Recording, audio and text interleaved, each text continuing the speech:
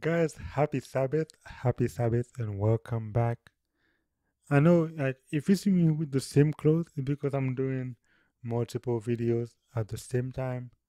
I'm just gonna put them in different time frame, but I'm just doing at least three or four at the same time. So let's move on. We're going to go to the next cha- the next part, part number two of chapter four. We've been looking at chapter four so far. We were we stopped at verse number thirteen, and I said I was gonna start the next one because that's gonna be important. Listen, could you believe this? Enter not into the path of the wicked, and go not into the way of evil men. Avoid it, pass not by it, turn from it, and pass away.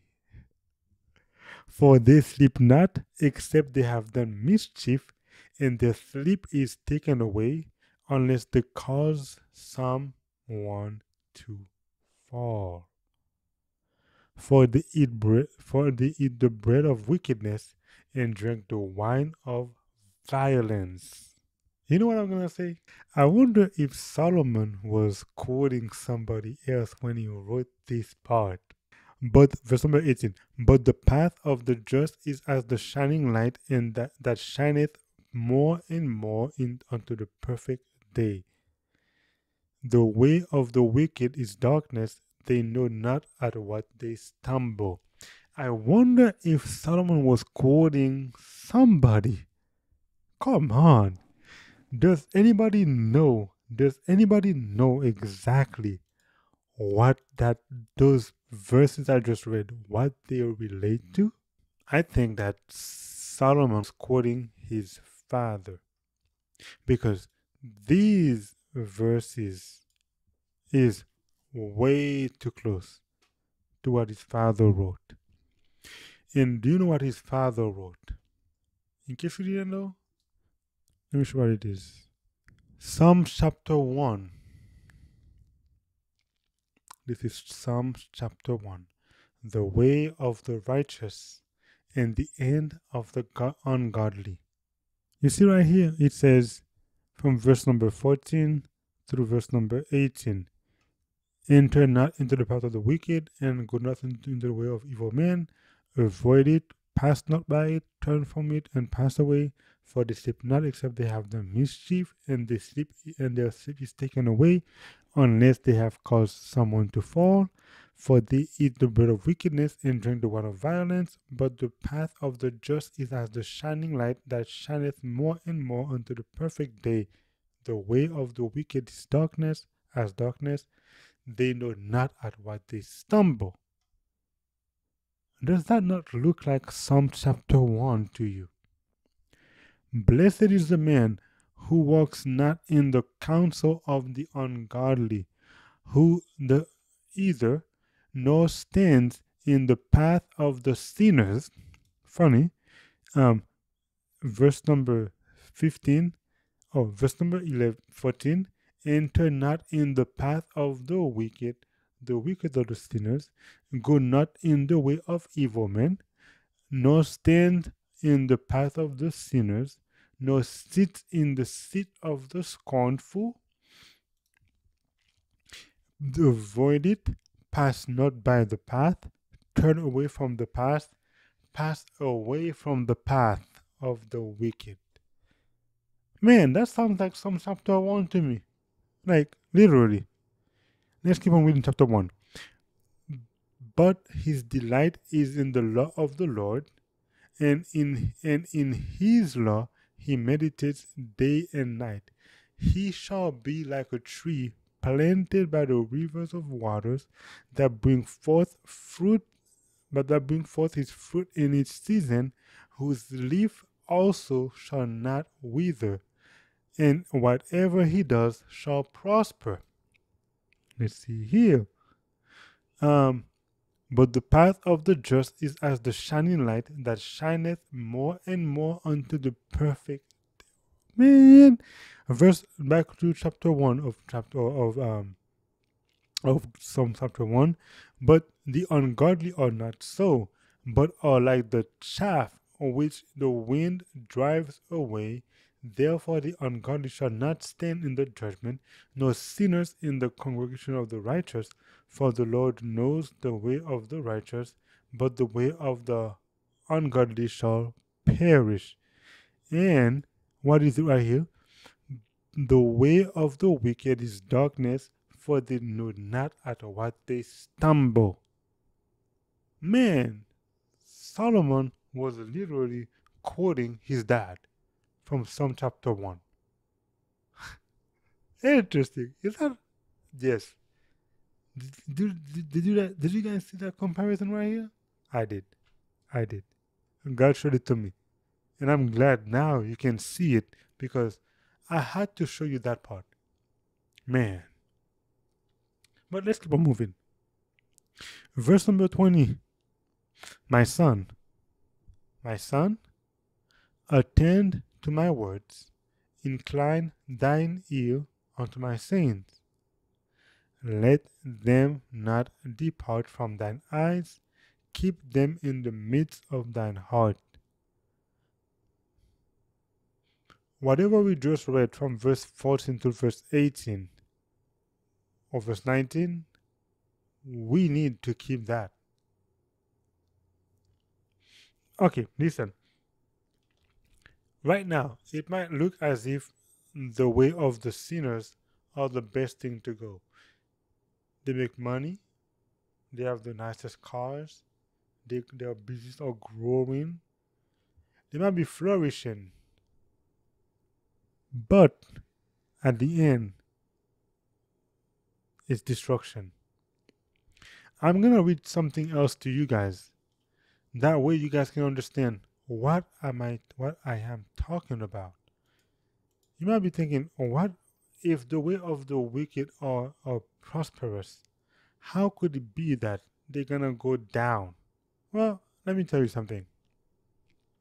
I'm gonna keep that for you at the end. Verse number 22 For they are life unto those that find them, which is the words that we just read earlier, and health unto thy unto their flesh. Keep thy heart with all thy all diligence, for out of it are the issues of life. The way you walk through life gives a testimony to the kind of person you are. If your heart is wicked, then your life is to show it. It may not show it in the sense of money. Not because you got a lot of money means you're doing everything right.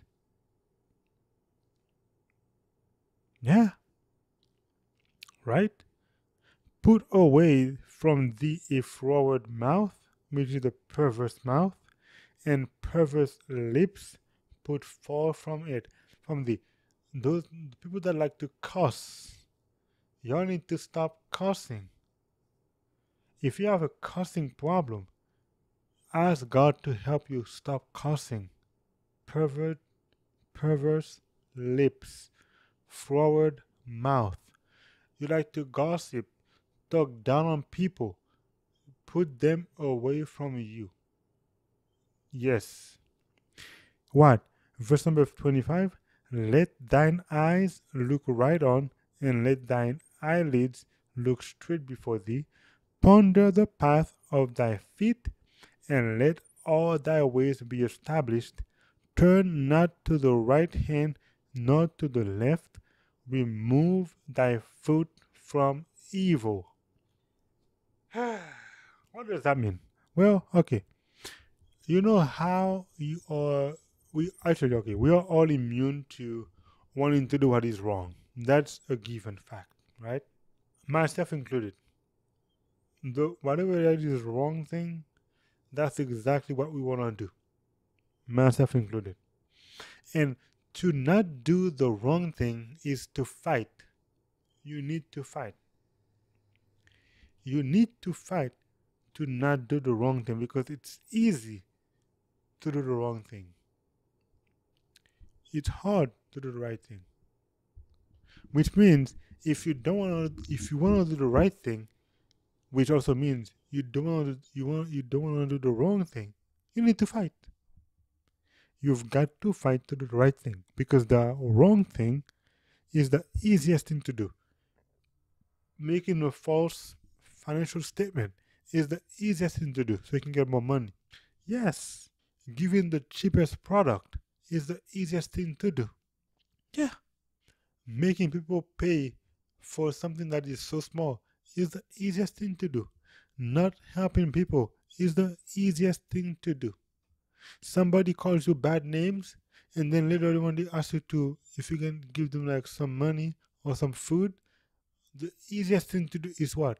Is to cuss them out or tell them, wasn't it you that were that was calling that actually were calling me by bad names earlier and when I help, you would say, go to yeah. So doing the right thing is never an easy thing to do. But let me tell you something. Do you remember when we just read that part? Oh yeah, I did mention to you um that um those that are making money doesn't mean they are doing good, right? Oh, if this is all if those people that are doing those things are doing evil thing, yet they are getting money, how come this is a bad thing? Well, let me tell you right now. Psalm chapter 92. This is a Sabbath song, psalm. And let's read it all together. Praise to the Lord for his love and faithfulness. It's a psalm, it's a song for the Sabbath day, which right now, which is right where I am, go Friday afternoon, close to getting to the Sabbath, because Sabbath starts at Friday whenever the sun goes down and ends at Saturday. Yeah, Friday's um Sabbath starts when the sun goes down on Friday and ends Saturday when the sun goes down. It says, It is good to give thanks to the Lord and to sing praises to your name, O Most High, to declare your lovely your loving kindness in the morning and your faithfulness every night. On on an instrument of ten strings, on the lute and the harp, with harmonious sound, for you, Lord, have made me glad through your work. I will triumph in your works, in the works of your hands. O Lord, how great are your works! Your thoughts are very deep.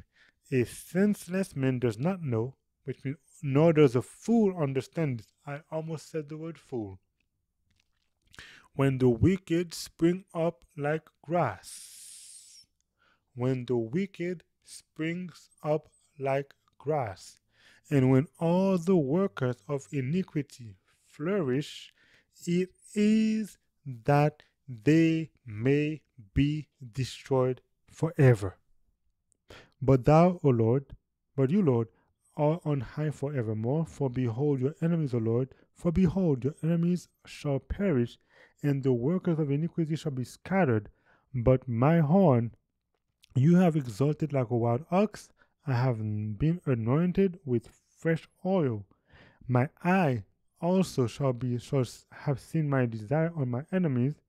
My ears hear my desire on the wicked who rise up against me.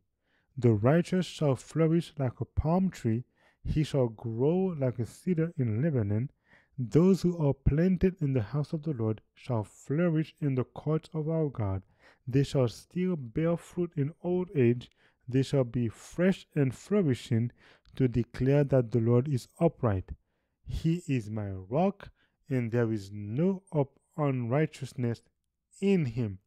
At the end of the day, the wicked that spring up like grass, they will be destroyed forever. Listen here. The way of the wicked is as darkness they do not know at what they stumble. Again, it's the OpenVeil TV. Food for thought.